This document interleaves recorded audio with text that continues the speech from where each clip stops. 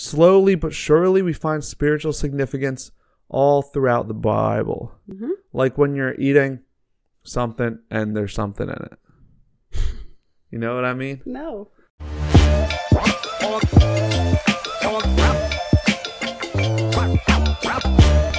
Hello and welcome back to the Croak and Crow podcast. How y'all doing? I am Spencer Cardia. I am Neo.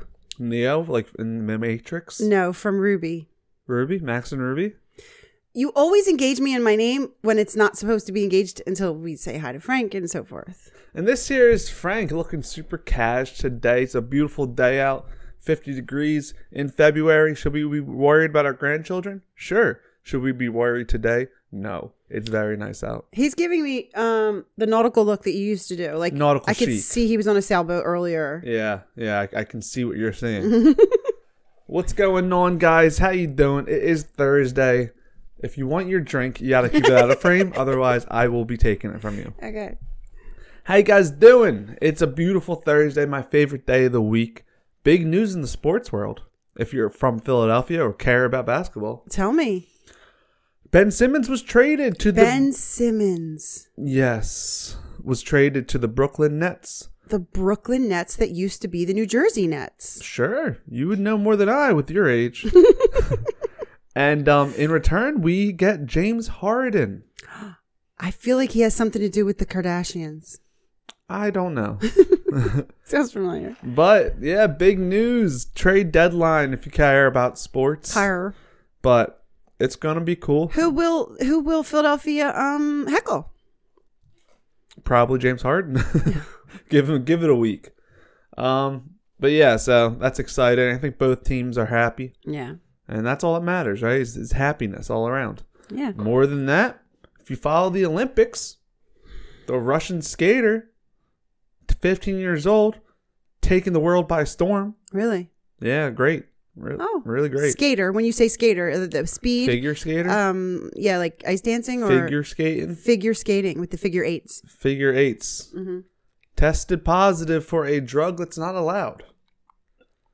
Um, I didn't expect that part of the story. yeah, probably steroids or something. Oh, we don't know that.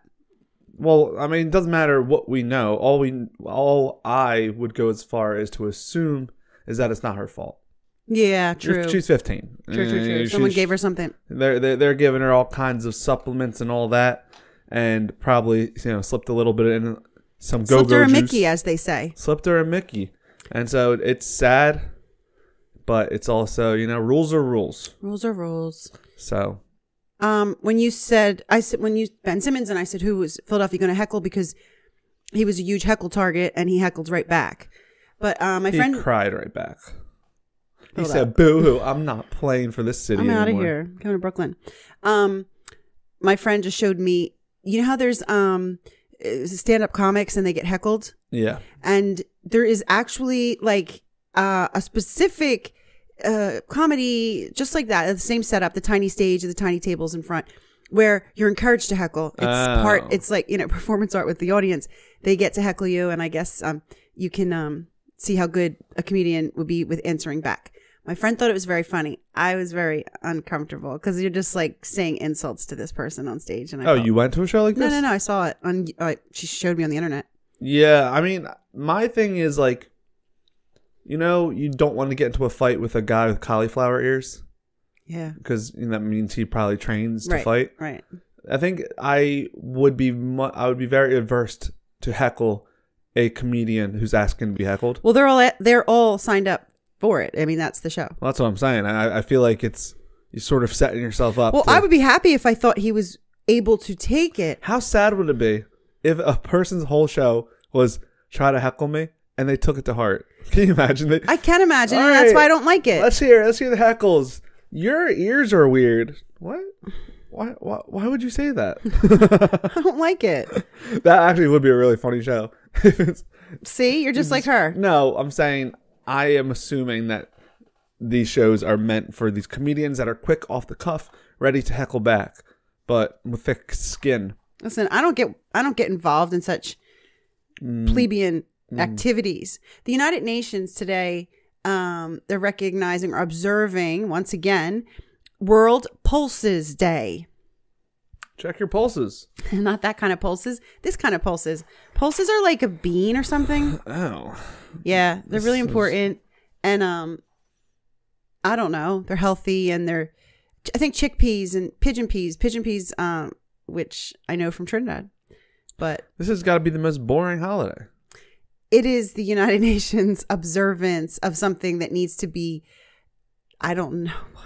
Education? Yeah, well, it says unexpected ally against climate change. We're not See? getting into There that. you go. Yeah. All right. Well, hey, everyone, go and I don't know, plant your pulses.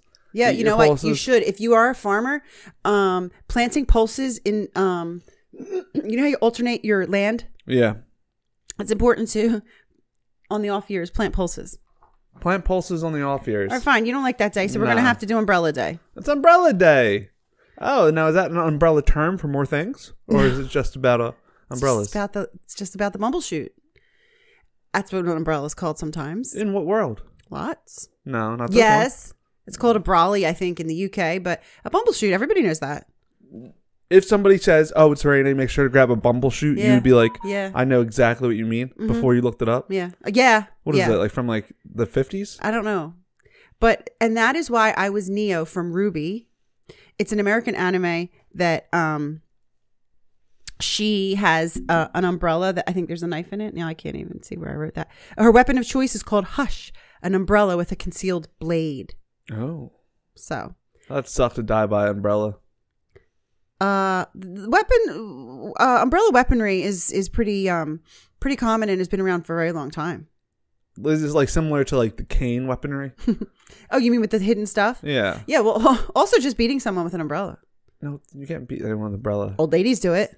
Well, that's like they also you beat you with their handbag. Like I, I think, but I can I can Oh, see. like James Bond yeah, umbrellas. I, I feel like in James Bond, or it's like a gun, oh yeah, something like that. yeah, yeah, yeah. Maybe. I even saw, um, you know, the the more luxury cars. They have it in Yeah. in the door, which is stupid. How's that stupid? I don't know. You're so think- rich. Why do you have to go out in the rain?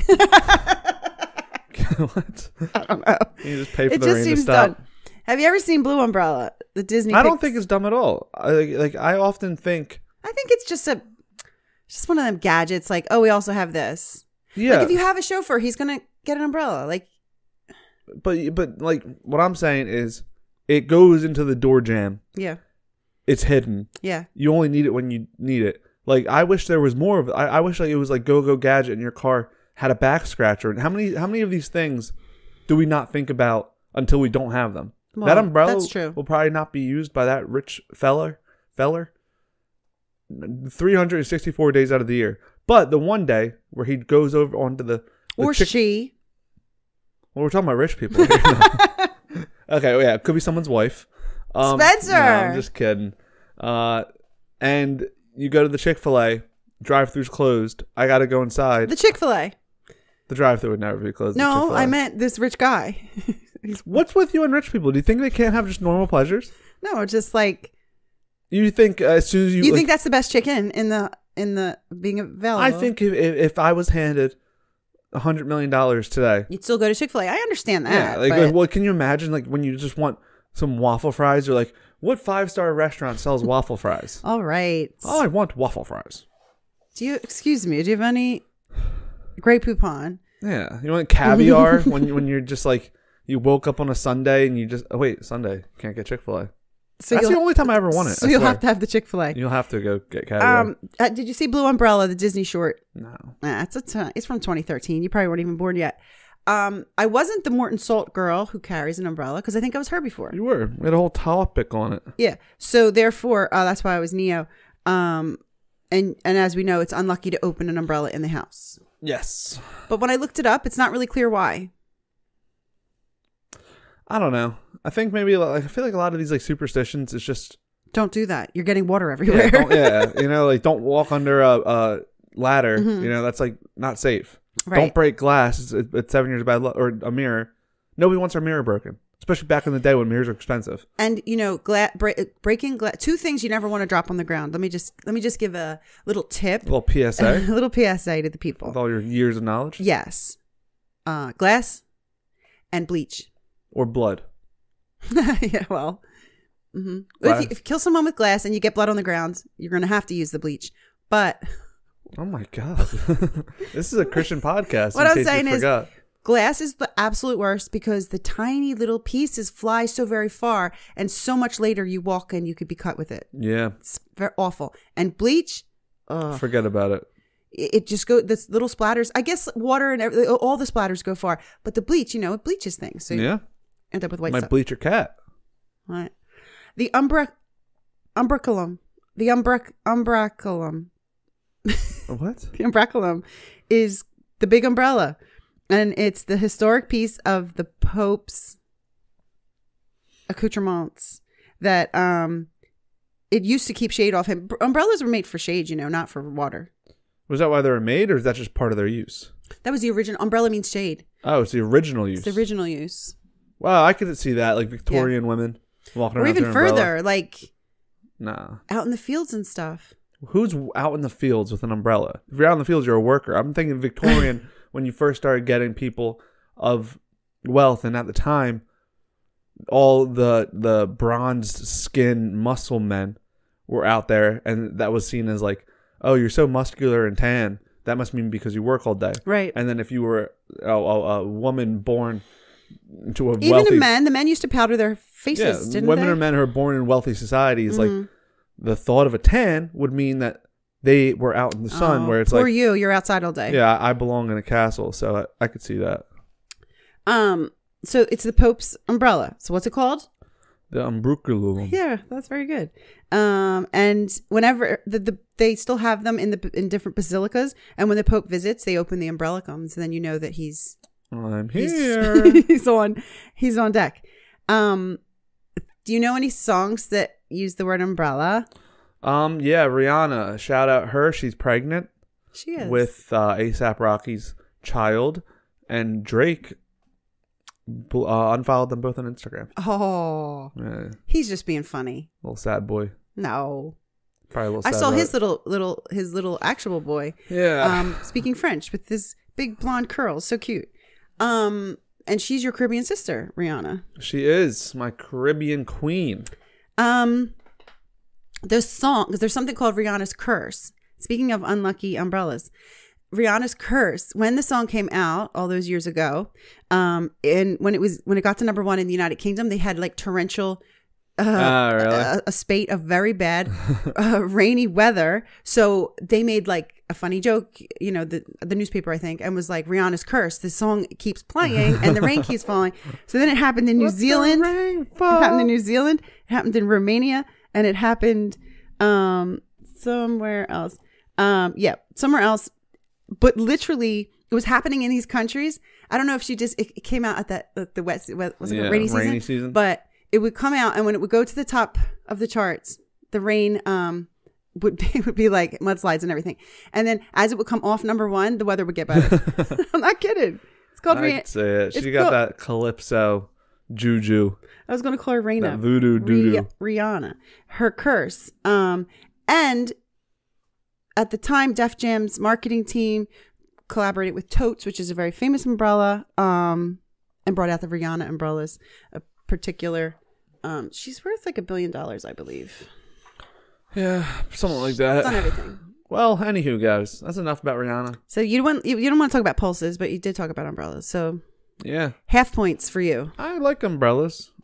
I I never have an umbrella when I need it, and I, think that's why I like the idea of it being in a fancy car.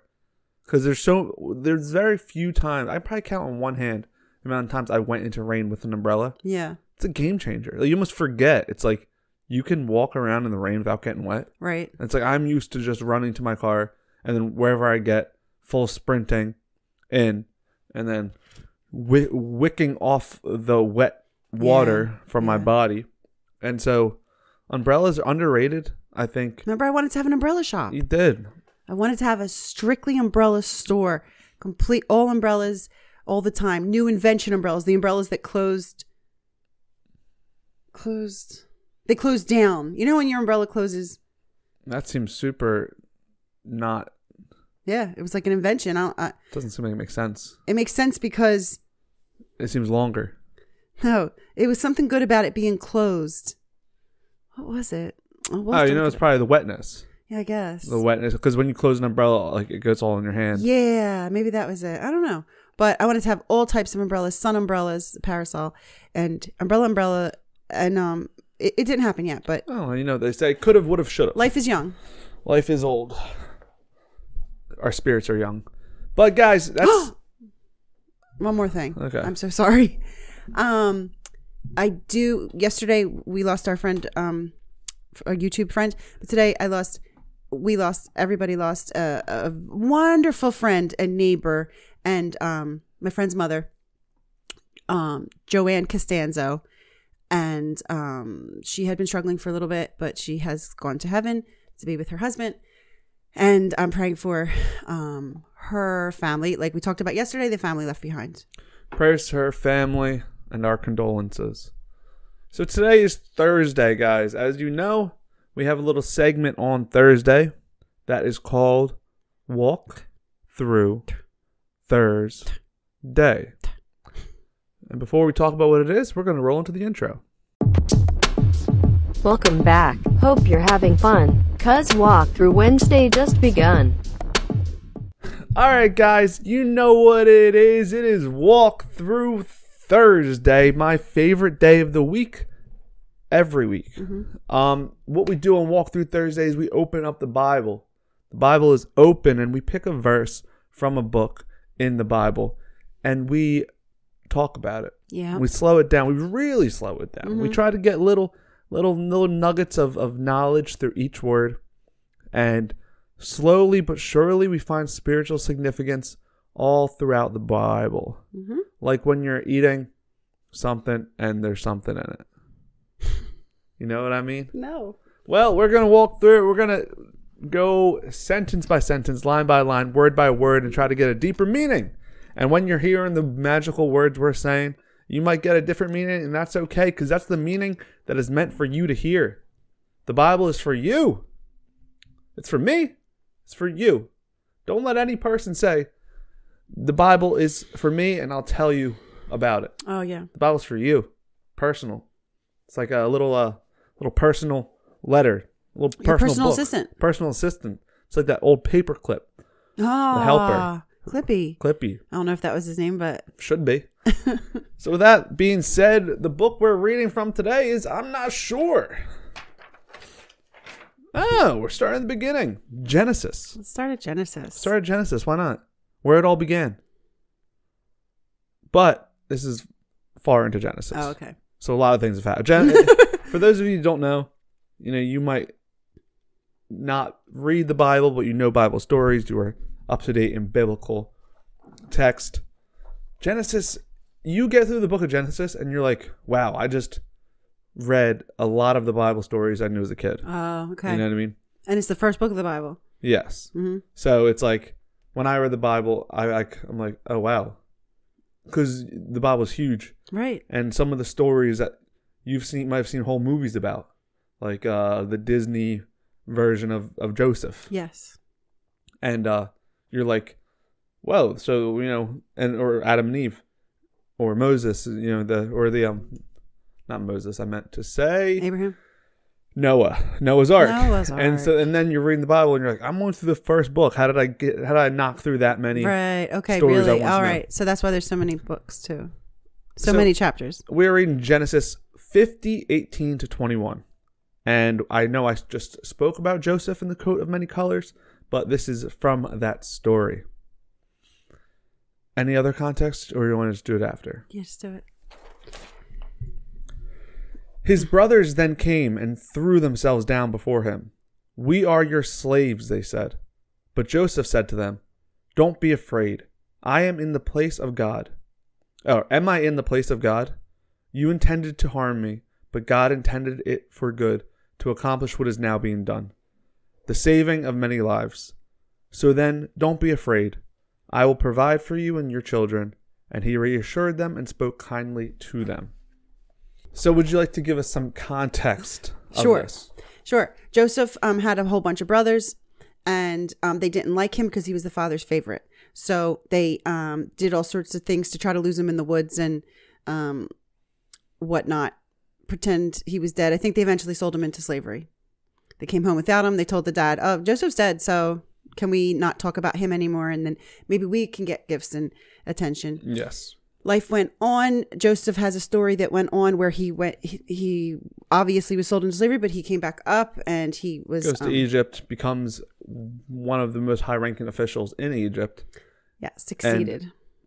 which coincided with a famine that was happening all around the nations, and so everyone got poor and hungry, Mm. including those brothers, including the brothers. including the brothers that were left behind. So there was a famine, and whilst the brothers were in the famine, they said, "Let we need we should go to Egypt because the Egyptian officials were helping some people in need." And when they went, Joseph recognized them, but they didn't recognize Joseph. Mm. And so he asked, he said, "Go bring back your younger brother." Something like that. I'm a little fuzzy on all the details.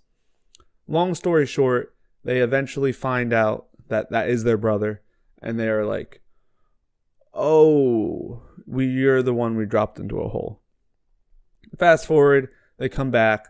Their father passes away, um, Jacob, and he gives Joseph one last wish. And then the brothers are now guilt ridden, being like, now's Joseph's time to finally get revenge for what we did to him. And so, Yeah, and like not just guilt ridden, but but fearful because fearful, yeah. because reasonably there will be payback, Yeah. or if not even if not like a punishment, at least not.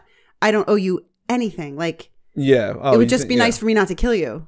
Yes, that would be, that would be a mercy, Right. which is in the line where we say, they threw themselves down before him and said, "We are your slaves." Okay. And it was like, like please, just just take us as your slaves. Right.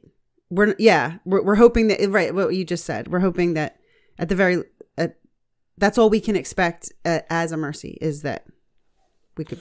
So let's walk through it. So I mean, since we his brothers then came and threw themselves, so that's what we were just saying. Okay. That's the first line. We are your slaves, and that's what we were just saying. How they're like, it's he's he's going to be mad, Right. and rightfully so. Right. And so take us as your slaves. Uh, sorry. So the next line goes, but Joseph said to them, "Don't be afraid. Am I in the place of God?" So he's saying I wouldn't judge you because only God can judge. Yes. But yeah, exactly. It, it's don't I am I in the place of God? I- I- he's saying in a way we're equals. Like he- Right. he's saying I have no authority to judge you guys. Right. Um and next you intended to harm me, but God intended for good to accomplish what is now being done, the saving of many lives. So this is where, is where we can we can start talking about, right? Okay. Because I think this is an important concept that's very hard to do in practice, which is not like I think in a way lean it's is isn't what we always say lean not on your own understanding Right. and he's retroactively being like I didn't understand at the time and even if I was upset there was a reason like like not even a reason it's God had a, a plan for me Right. And That's how it unfolded. that's how that's how the plan unfolded and now i'm i'm able to say like, I, i'm able to save Right. many lives including the brothers if you Right. think about it the whole family could have starved right. had they had that not happened Right. and then but you get you know this fine line between oh so should we just go through life being like i can punch him in the face because you know what that'll probably set him on a on a path that god wants him on Right. No but I, I think it's more important to look at it from joseph's side Right. and not hold on to grudges because that doesn't help anything. And, and all your struggles make you stronger in a way. Yeah. And if you see it like that, you, you live a less burdened life. If, if he lived on like carrying the burden of what happened to him, Yes. he wouldn't be able to thrive in the future and end up helping others. Right. I agree with you. Um, I say right for myself. I can't say right for other people. I'm saying right for myself because it sounds right to me. Um, he, Joseph is choosing to focus on where he is now. Yes. So he's not focusing um, number one, he, he he's not take he doesn't want to take the place of God at all. So like he's not saying I forgive you of every you know that you put people in holes and you sold them into slavery. He, that's not my place. So we're not even going to deal with that. Yeah, That's yeah. that one. Because yeah, it it, it it isn't. It, is where he is now. He's living in the present. He's living in the present. So whole grudges are, are past tense because he doesn't say, uh, "You guys, you guys never did anything wrong. It was Right. all part of God's plan." He said, "You intended to harm me, but right. God, oh yeah, you're but right. That is something to think about. You intended to harm me, but God intended me to um for inten- intended it for Yeah. good. You know what? That's interesting because I was um not paying attention to the you intended to harm me part. And I like that because it's not he's not um forgiving them because he's naive or Yes. that he's like, "Oh, I'm like just excited to have my brother's back. what you just said, you know, like um no, you didn't mean to push me in the hole or Yeah. whatever." He's saying "Y- I'm fully aware that you intended to harm me, but You- I'm not yeah. going to focus on that because something else was going on. yes, God intended for me to do good, so I'm going to focus on that because that came to came to be true, yeah, and I love what God's done with me. So it doesn't it doesn't matter to me how I got here. Yeah. Might matter to God, but that's between you and God. yeah, and, and and it's putting all the power in God and not the power in their actions. Right. It's like I. I, I focus on one thing. That's what God intends. You know, I, I'm not going to judge you for what you intended, Right. even, even if it's bad. It's only about what God wants for me. Right. So then, don't be afraid. I will provide for you and your children. And he reassured them and spoke kindly to them. And I think that that you know, do not be afraid is like a big thing because it's like he's not. He doesn't even want them to walk around still being like, what if he changes Right. his mind? Like Right. he's trying to like reassure them that like, quite literally, like, listen, I am. I'm not one to judge, and Right. I'm not going to judge you. In fact, I will help you because that is what my that is what I'm intended to do. Right. And, and no matter what you chose, don't go forward in that. And it, it, it, it's that it's that love, you know, you, like it's that love through God and that forgiveness that we always hear about in action. Like this is what true forgiveness and love looks like, and it's sometimes the hardest because it's like any normal person could have the thoughts of revenge or Right. not even revenge, but the why would I help you? Right. What have you done for me? Yeah, it would be um an honest uh reaction Yeah. to you know equal equal and honest and it's so interesting this in genesis because genesis i find to be or even just the thought of it to be you think of the old fashioned you know the oldest um Eye for an eye, tooth for a tooth. right scripture which is very much like that if you do bad this is going to happen to you and that is fair and it's fair because you're going to take the consequences of your actions Yeah. this is Genesis. He's being so generous. He's saying, I'm not concerned. I'm going to take care of you. I'm going to take care of your children. yeah. That's further. Um, and also, like, say, he reassured them and he spoke kindly to them. So it's not even like, yeah. ex- So it, it's it's not a superiority or. it's not yeah. And, and from the beginning we said he like sees them as equals, and to the end, once again, it's not a holier than thou. Right. It's not. I will take care of you guys Yeah. because I'm better than you. It's, Right. He, he reassured and spoke kindly. It's like, no, it's like uh being genuine. It's like I Yes. genuinely am not judging you. I genuinely will take care of you. Yeah, this is, look how Christ like this is. Yeah. And this is the first book of the Bible. This is the Old Testament. So Christ like. He was persecuted, but he forgave. hmm right? He welcomed them with open arms. He was kind. He was generous. He was reassuring. Um, and I just am very uh, surprised that that was in Genesis. I'm not because you know what? Who is Jesus? Jesus is God. I know, I know. It's it's the whole Bible. It's the whole thing. But that's our walk through Thursday. Hope you enjoyed it. Hope you liked it. Let us know what you got from it. Go read it. Go go read the story. Why not? There's a lot more Yeah, before and after Right. of this one particular story. right. It's worth the read. But we can all try to be more like Joseph when people wrong us. And just look up- remember Sorry. And just remember that no matter what you know happens to us, you know, God has a plan for us and to just keep our faith in that and I not hold grudges. I think it's archived on the, the the Sight and Sound Theater that we went to because Joseph was one of the shows, Yes. and they have they have the older I'm pretty sure they have the older shows that you can watch on video. Yes, they do. Check it out. We'll be back tomorrow for Fun Friday. No, Dr. Seuss Friday. Just this Friday. Until then, go and, and, and forgive. Peace.